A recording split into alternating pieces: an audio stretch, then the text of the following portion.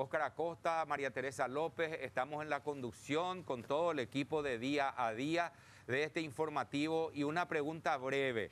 Estábamos viendo el último dato que dieron anoche las autoridades de Miami, Estados Unidos, donde dice que fueron localizadas más de 100 personas y estaban confirmando todavía unos eh, decenas de desaparecidos. La pregunta clave, don Justo, es, ¿no está en la lista de los localizados los integrantes de la familia paraguaya, señor?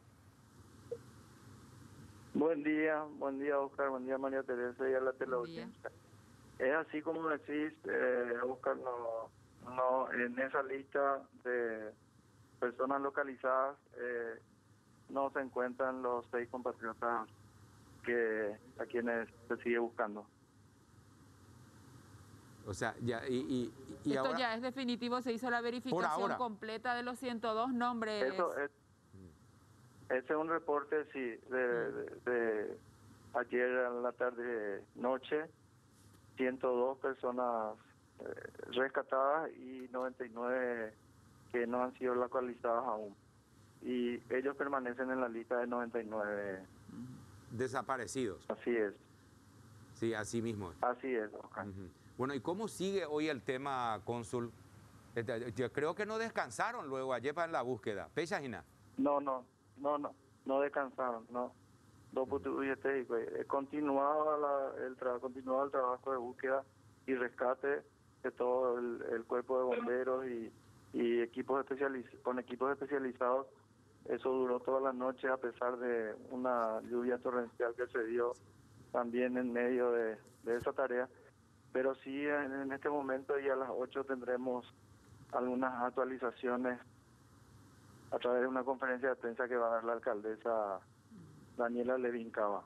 A las 8 entonces vamos a tener novedades. Ahora, cónsul, eh, ya los familiares de Sofía y de Luis se encuentran allí, ustedes se van a organizar para trabajar, para realizar una tarea conjunta allá, quienes ya llegaron eh, de los familiares.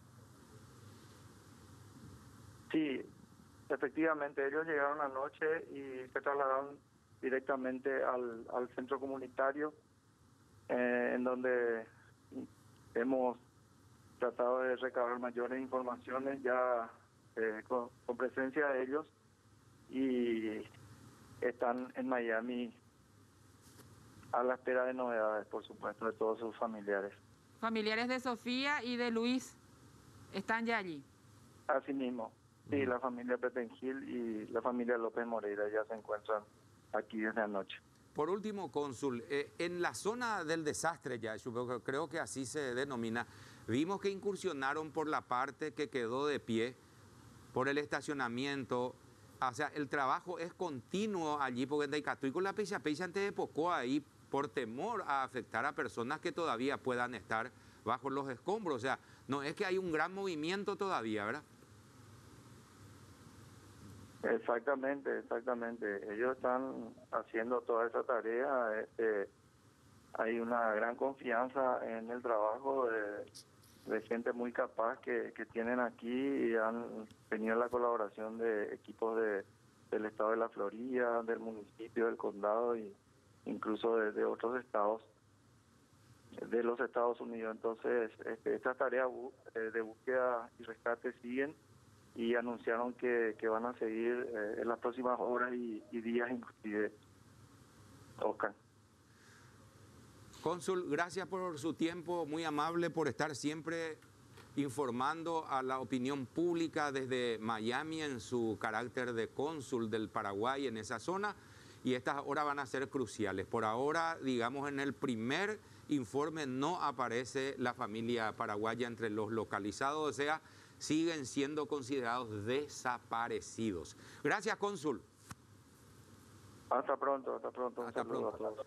Justo Apodaca, cónsul del Paraguay en Miami, Estados Unidos. A las 8 entonces vamos a tener un nuevo reporte. Vamos a ver si sigue la lista de 102 eh, personas rescatadas, si eso aumenta, y 99 personas desaparecidas. Ya están en Miami en este momento eh, los familiares de Sofía, la primera dama, su papá.